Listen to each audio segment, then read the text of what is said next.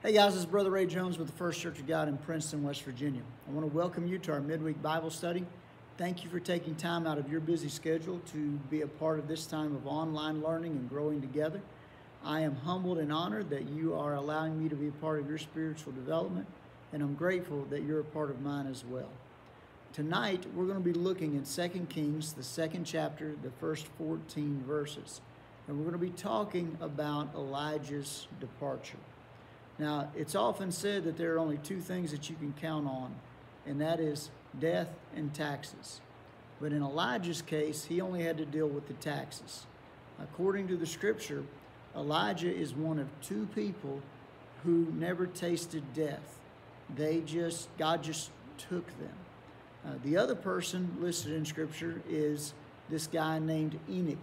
In Genesis, the fifth chapter, verses 21 through 24, we read these words Enoch lived 65 years and begot Methuselah. After he begot Methuselah, Enoch walked with God 300 years and had sons and daughters. So all the days of Enoch were 365 years, and Enoch walked with God, and he was not, for God just took him. Uh, that is an amazing account. And uh, tonight, as we talk about Elijah's departure, I know it's not a, a pleasant topic, but the reality of it is all of us are going to leave this world one way or another. And uh, we do want to be prepared for that time. And while Elijah and Enoch are two people listed in Scripture who uh, didn't have to die in order to go on to be to their eternal reward. There, the Bible does tell us that there will be others who will bypass death when Jesus returns.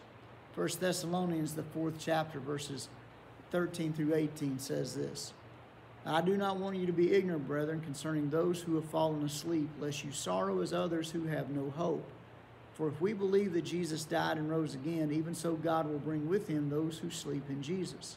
For this we say to you by the word of the Lord, that we who are alive and remain until the coming of the Lord will by no means precede those who are asleep. For the Lord himself will descend from heaven with a shout, with the voice of an archangel, and the trumpet of God, and the dead in Christ are going to rise first. Then those who are alive and remain shall be caught up together with them in the clouds to meet the Lord in the air, and thus we shall always be with the Lord. Therefore, comfort one another with these words. Paul, in writing to the Thessalonican church, uh, had to clarify for them that uh, they, they were concerned about those who had already died in the Lord and would they partake of that resurrection. And, and Paul just makes it very plain here that when the Lord returns, those who happen to be living at Christ's return, those believers, won't have to worry about tasting death. They'll just be taken up. Well, Paul also had to deal with this with the Corinthian believers. In 1 Corinthians, the 15th chapter, beginning at verse 51, we read these words Behold, I tell you a mystery. We shall not all sleep, but we shall all be changed. In a moment, in the twinkling of an eye, at the last trumpet. For the trumpet will sound, and the dead will be raised incorruptible, and we shall be changed. For this incorruptible, this corruptible rather must put on incorruption, and this mortal must put on immortality.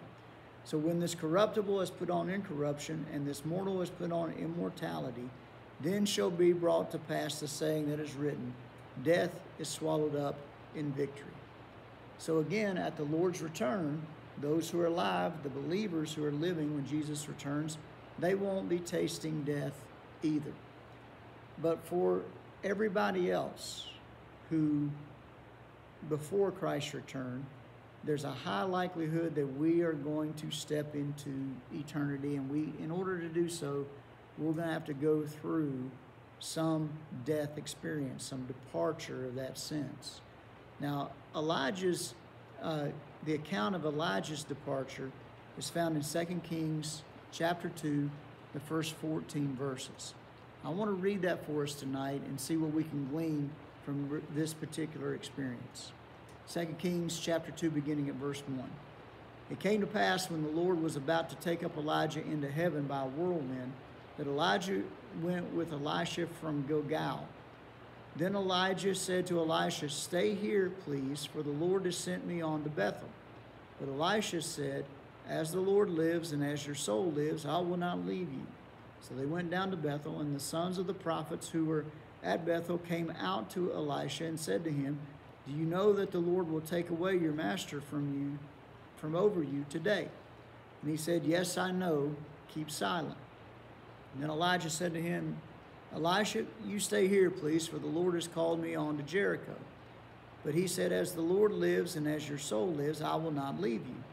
So they came to Jericho, and the sons of the prophets who were at Jericho came to Elisha and said to him, Do you not know that the Lord will take away your master from over you today?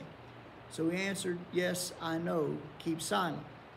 Then Elijah said to him, Stay here, please, for the Lord has sent me on to the Jordan. But he said, As the Lord lives and as your soul lives, I will not leave you. So the two of them went on. And fifty men of the sons of the prophets went and stood facing them at a distance, while the two of them stood by the Jordan. Now Elijah took his mantle and rolled it up and struck the water, and it was divided this way and that, and the two of them crossed over on dry ground. So, and so it was when they had crossed over that Elijah said to Elisha, Ask, what may I do for you before I am taken away from you? Elisha said, Please let a double portion of your spirit come upon me. So he said, You've asked a hard thing. Nevertheless, if you see me when I'm taken from you, it shall be so for you, but if not, it shall not be so. Then it happened as they continued on and talked that suddenly a chariot of fire appeared with horses of fire and separated the two of them, and Elijah went up by a whirlwind into heaven. And Elisha saw it and cried out, My father, my father, the chariot of Israel and its horsemen. So he saw him no more. And he took hold of his own clothes and tore them in two pieces. He also took up the mantle of Elijah that had fallen from him and went back and stood by the bank of the Jordan. Then he took the mantle that Elijah had fallen, uh, the mantle of Elijah that had fallen for him, and struck the water and said, Where is the Lord God of Elijah? And when he also struck the water, it was divided this way and that, and Elisha crossed over. My friends, that is quite uh, uh, an account of someone's leaving this world and going on to glory. Uh, it didn't happen that way for anybody before then, and it hasn't happened that way for anybody since. But Elijah was no ordinary man. Um, well, he was an ordinary man, I guess, in that sense, but uh, he also put faith in an extraordinary God, and God did amazing things through him. So, as we consider Elijah's departure, there are some things that are of significance that I want us to glean. Um, one, on Elijah's last day in this world, he spent time in four distinct places. He was in Gilgal, Bethel, Jericho, and the Jordan River. Historians note that the three cities he visited were where the schools of the prophets were located. It's very likely that Elijah wanted to spend some time encouraging those that he had helped to mentor. Uh, there's nothing wrong with that. When you kind of realize that your time in this world is coming to a close, there are some significant people that you might want to get with. By the way, since we don't know when our time in this world may come to an end, um, it is good and right for us to make the most of whatever time we have with those significant people. All right?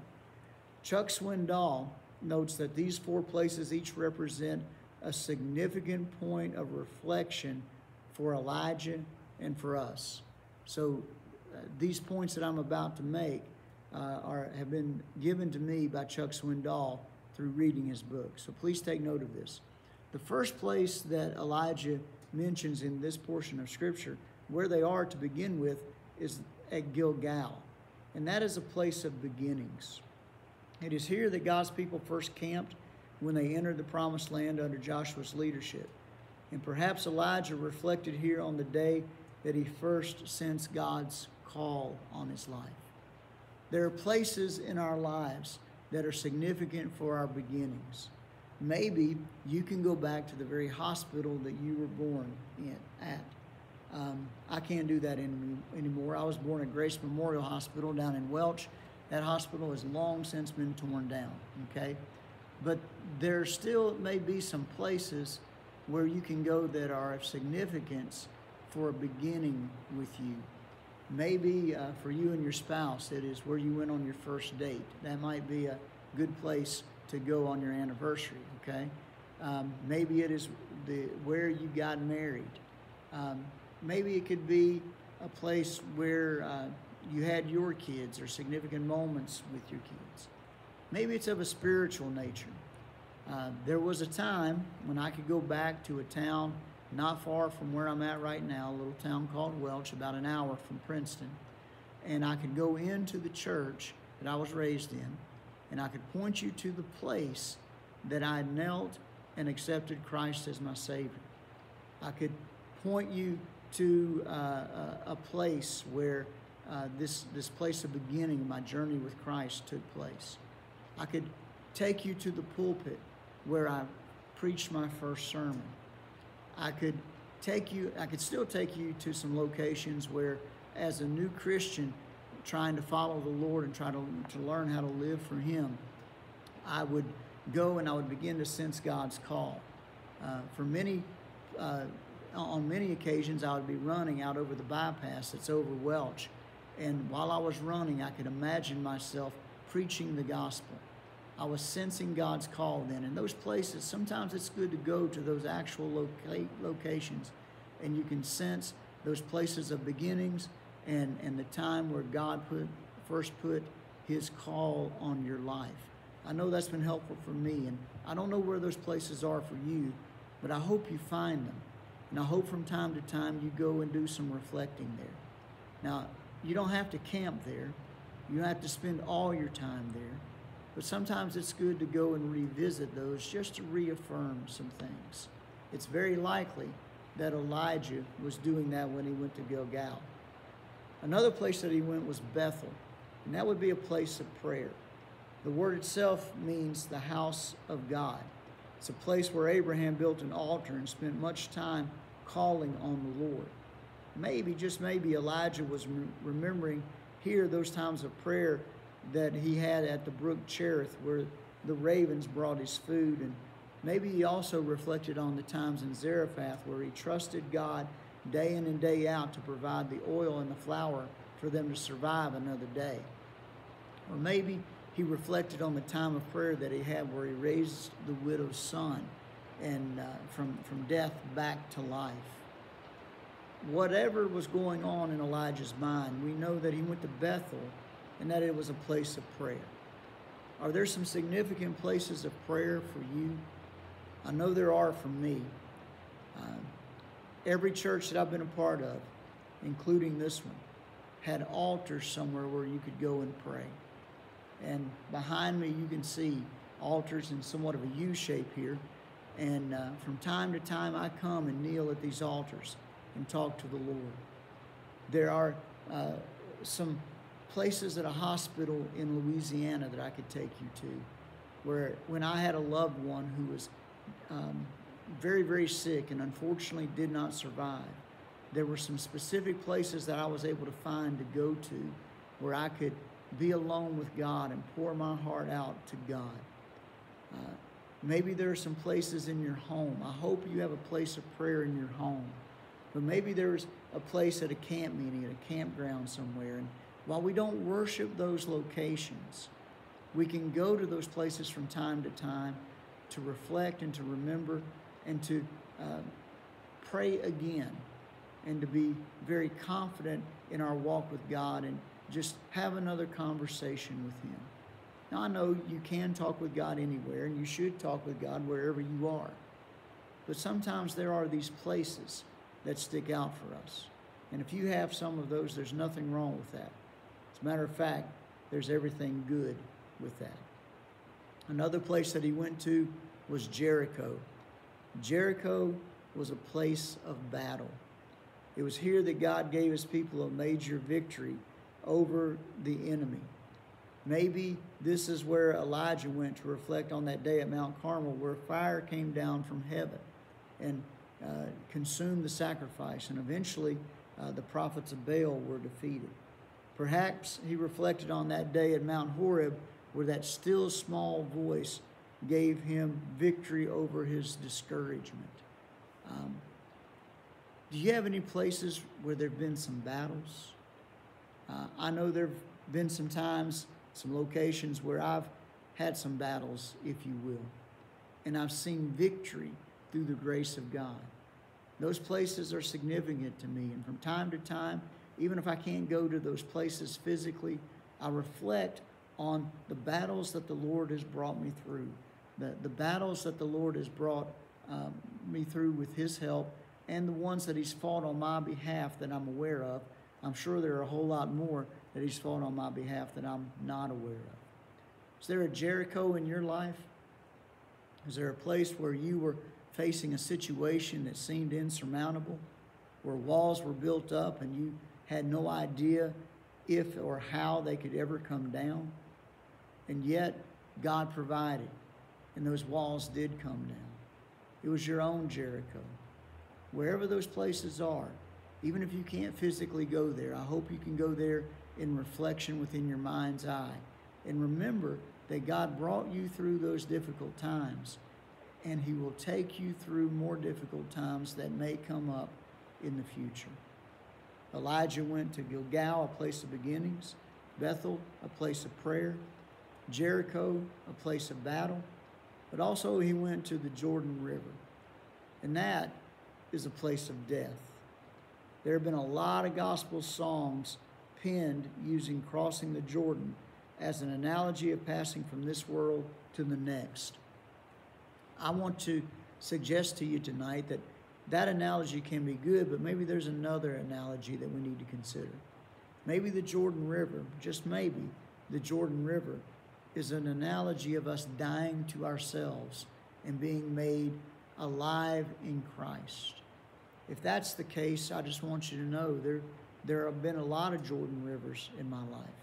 Not necessarily physical locations, but just times in my life where I realized I needed to die to some pride, to some arrogance, to some self desire, to my own will where I had to die to self so that Christ could be formed in me to the degree that He wanted to be formed in me. I don't know where those places may be for you. I don't know um, what points in your life that you've had to, to get to to uh, maybe experience that, but I can tell you this if you are honestly following Christ and you're seeking Him on a regular basis, He's going to show you those places where you need to continually die to self and you need to cross that spiritual Jordan, if you will, and go on to the other side of the new life that Christ has for us. Now, if the Jordan River is an analogy for physical death, um, none of us know where that's really going to be for us as individuals. But we do know where some of those places were for our loved ones. Uh, that's one reason that we go to cemeteries and pay our respects. While our loved ones didn't die at the cemetery, that's where their bodies or their ashes have been laid to rest. And we go to those places to reminisce, to, to, to be uh, reminded, to honor, maybe even to talk to them. And by the way, there's nothing wrong with going to the gravesite and talking to your loved one. No, I don't believe they're there. I believe they're on to their eternal reward. But sometimes it's good and healthy for us to just go and see that physical representation of a place uh, that reminds us of their lives and just speak our hearts and minds openly. There's nothing wrong with that. Again, I'm keenly aware they're not there and we can't really talk to them. But sometimes it does us good just to say at times like that, what's on our heart and mind. I don't know where your Gilgal, your Bethel, your uh, Jericho, or your Jordan may be, but I do know this.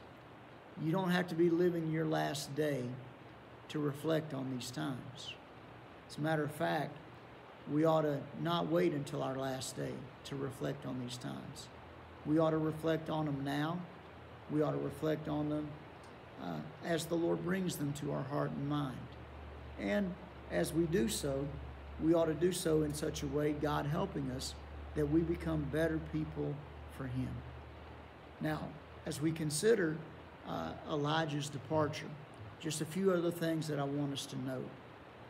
Elijah tried repeatedly to distance himself from Elisha. He kept telling Elisha, hey, the Lord's calling me to go on over here to Bethel. Why don't you just stay here in Gilgal? And uh, Elisha said, Nope, I'm going with you. Then, after they got to, to Gilgal, he said, Hey, the Lord's calling me on over to Bethel. Uh, why don't you just stay here? And Elisha said, No way, I'm not leaving you. I'm going with you. In the same way with going on to the Jordan, even, uh, or to Jericho rather, and then he even crossed the, from there to the Jordan River and cross the Jordan River with him. Um, there's something key for us to take note of. Uh, we all need somebody close to us, all right? A lot of times, and guys are maybe more guilty of this than ladies, but we think we're big and tough and we can handle everything by ourselves. Well, I know we're supposed to handle some things on our own, but there are a whole lot of other things that God has said, you know what, I want to give you some somebody in the flesh, somebody in person to help you. Uh, now we have God through His Spirit, uh, the Paraclete of God, the Comforter who dwells within us, and that is good and right. We can always rely on Him, but sometimes God gives us people, and thank God for that. Um, Elijah had Elisha. Um, you know, Paul had Silas and very other, various other traveling companions. Uh, we all need some godly friends to be around us. And in this particular case, Elijah had Elisha, who I guess we could say was his friend. He was definitely his understudy, if you will. And uh, Elijah was to Elisha his mentor. So we're going to see how that plays out a little bit in the rest of this story. But just, it will suffice to say this wherever you are in life, please don't close yourself off to everybody. Uh, you may have been hurt by some people. I understand that.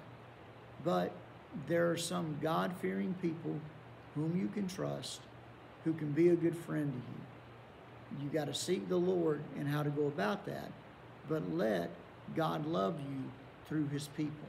Okay? Elijah had Elisha. Another thing that we see in this is that Elisha made a pretty big request of Elijah.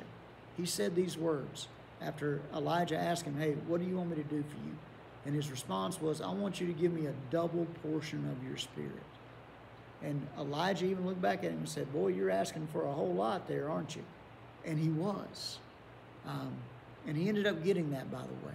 He got what he, he asked for. And we can know that because if you go through and you count the number of miracles that Elijah did, you can uh, go and study Elisha's life, and you will find out that he performed twice as many miracles, at least recorded in Scripture. There are twice as many recorded miracles of Elisha as there was Elijah. That's not to take away from Elijah in any way. It is simply to highlight that Elisha asked for something really, really big from his master. That begs this question uh, Do you think you and I sometimes don't ask God for enough? Do we ever limit Him? I mean, maybe God wants to give us more than we can ever think or imagine. If you read in Ephesians, we know that God is able to do more than we can ever think or imagine. He, he also tells us throughout Scripture, you know, we have not because we ask not. Now, now, I understand that maybe we could ask for things we really don't need, but here's the thing. Maybe God just wants to bless us abundantly, and He's waiting on us to ask Him. And quite honestly, if we ask and we really don't need it and it's not going to be something that God's going to be honored with, He'll probably tell us no anyway. Now, I know none of us like being told no, but here's my point. Why don't we ask big things from God and see what He's going to do? Whatever great thing God's placed within your heart, ask Him for it. Elisha was not afraid to ask big.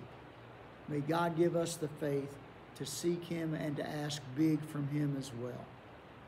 The last thing that I want us to see, and we'll close at Elijah's departure, there was somebody else to take his place.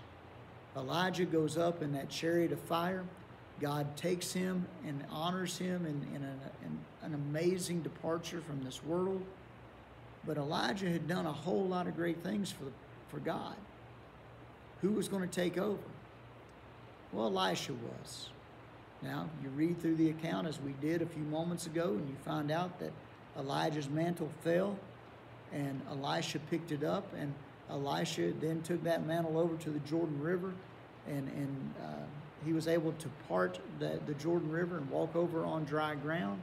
And the guys there, if you keep on reading, the other prophets there said, Hey, the spirit of Elijah now rests on Elisha.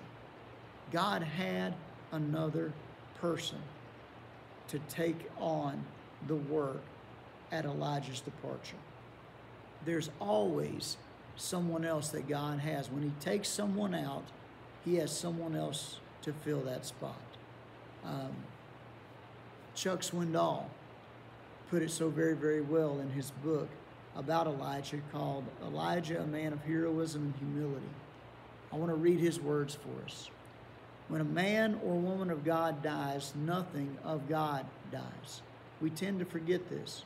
We get so caught up in the lives of certain individuals that we begin to think we cannot do without them. What limited thinking. When even a, might, a mighty servant is gone, God has 7,000 who have never bowed a knee to Baal. He has them ready, waiting in the wings. Classic case in point is Elisha. God always has a backup plan. I'm glad to know that that is true. I hope, my friends, uh, that there are important people in your lives that uh, have taught you the Word of God, encouraged you in the Word of God, model, most importantly, modeled the Word of God for you. And it is good and right to look up to them and to learn from them. But I want you to know when God calls them home, our faith should not be crumbled by their departure. Our faith ought to be enhanced by their departure. And we ought to understand that now it is our responsibility to carry on God's work as He gifts and enables us to do so. Uh, when Elijah departed, God had Elisha to take his place. And when it's our time to go from this world, there will be somebody else who takes our place and does what God has uh, to be done in that generation and in that time. So tonight, as we have studied Elijah's departure from this world, I want us to end with, I guess, uh, a rather sobering question. Are we ready for our own departure? Have we made peace with God? Are we doing what we're supposed to do to carry on His work, the work that He wants to do through us for His glory?